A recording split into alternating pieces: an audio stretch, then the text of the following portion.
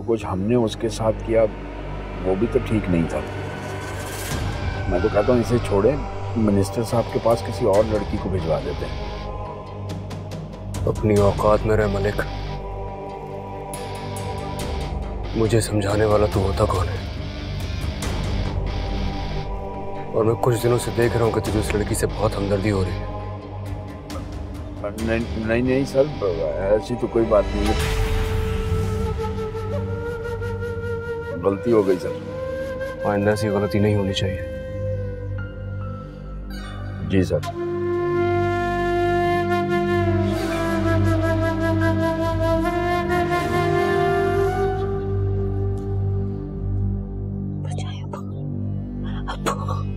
अब्बू मुझे बचाए वो लोग आ रहे हैं अब।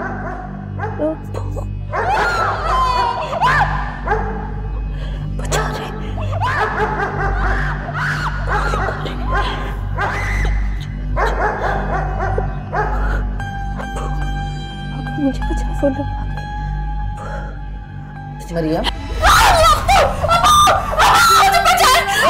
मरियम क्या हो गया? क्या हो गया बेटा? क्या हो गया?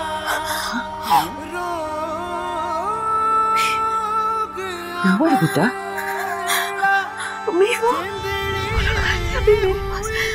कोई नहीं है यहाँ कोई भी नहीं है। तुमने कोई डरावना ख्वाब देखा है? कोई नहीं है यहाँ। देखा था अम्मी वो नहीं बेटा यहाँ कोई भी नहीं है। मैं हूँ ना तुम्हारे पास मत डरो। क्या हो रहा है मेरे साथ तुम? सो जाओ सो जाओ आराम से। मैं मेरे साथ है ना अम्मी। मैं तुम्हारे पास। सो जाओ मेरी बच्ची सो जाओ अम्मी। सो जाओ सो जाओ अम्मी मेरे पास है ना अम्मी। पास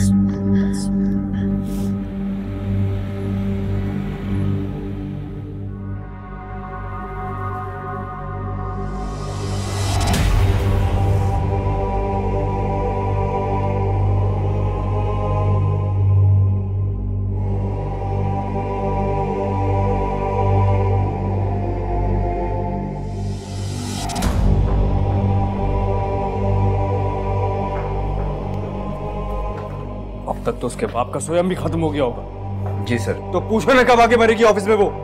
मैं पता करता हूँ एक मिनट। और उसको जाके अपने अल्फाज में समझा दे। सीधी शराफत से ऑफ़िस आ जाए वरना मुझे ऑफ़िस बुलवाना आता है।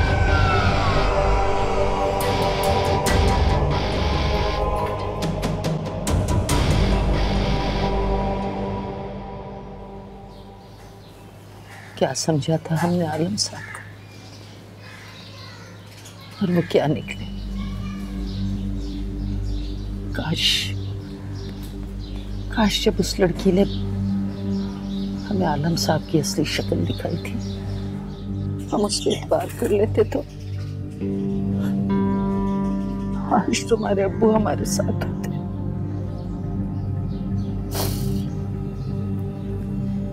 कितना खुश थी मैं उनके ऑपरेशन से। मैं नहीं जानती थी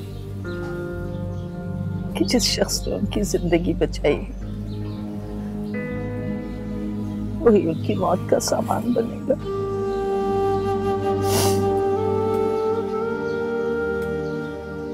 कितनी बड़ी कितनी बड़ी तकलीफ़ लेके उस दुनिया से चले गए। तुम तुम जानती हो उनकी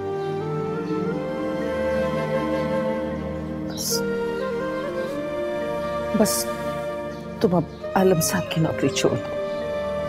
हम हम भूखे रह लेंगे। किसी तरह भी गुजारा कर लेंगे, लेकिन मैं तुम्हें वहाँ नहीं जाने दूँगी। नहीं, मैं तुम्हें वहाँ नहीं जाने दूँगी। नहीं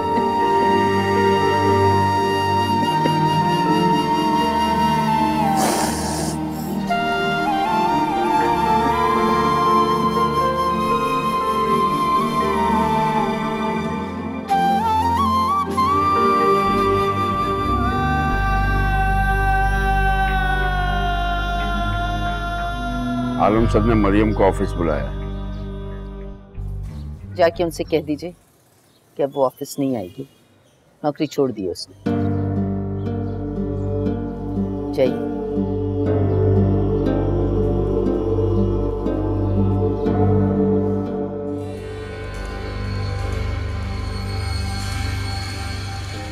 तो वो नौकरी छोड़ना चाहती है। उसकी माँ ने तो यही कहा है मुझसे।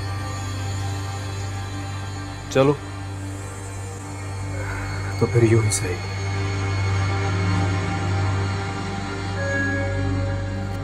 जाके गाड़ी निकालो मैं खुद मिलने जाऊँगा उससे। सर आप चलेंगे उसके घर? क्यों? तुम्हें कोई एतराज़ है क्या? नहीं तो सर। फिर टाइम किस है। तुम्हें जाके गाड़ी निकालो। जी सर।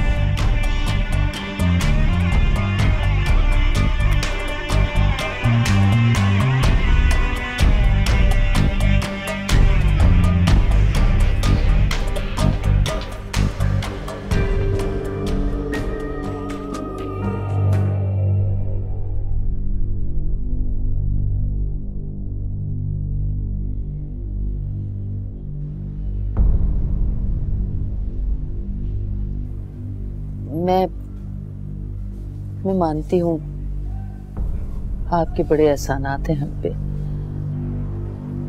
लेकिन इन एहसानात का बदला हम चुका नहीं सकते।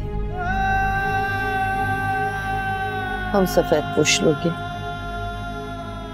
हमारे पास इज़्ज़त के सिवा और कुछ नहीं। ये देखिए।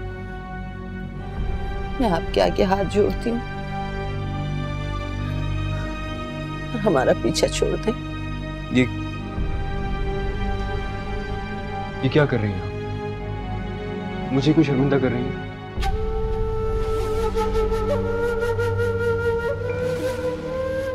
बदनामी का डर है ना आपको?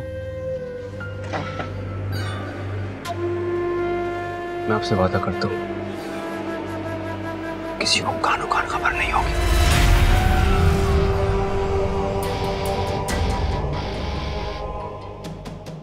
और मेरा साथ देने के एवज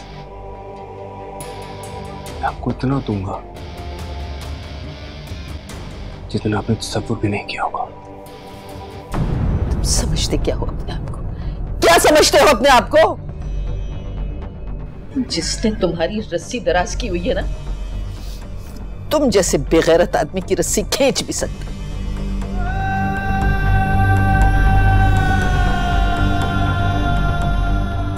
जबान संभाल कर बात कर, बुढ़िया। कोई ऐसा ना हो कि मैं तेरी उम्र का लिहाज भूल जाऊँ।